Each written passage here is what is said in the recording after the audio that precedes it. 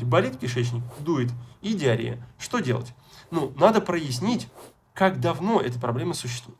Если это случилось относительно недавно, возможно, вы съели какую-то дрянь. В смысле, вредных микробов, а, бактерий, вирусов, может быть, какие-то токсичные продукты обменных веществ, которые вызывают пищевую токсическую инфекцию.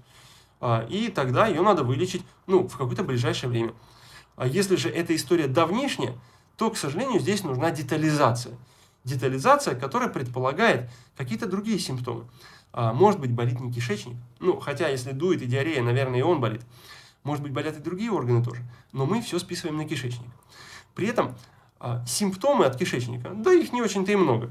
Что там, вздутие, газообразование, диарея или запоры, боль а, и какое-то раздувание живота. Газообразование. А заболевания кишечника, ну, я, по крайней мере, знаю около сотни.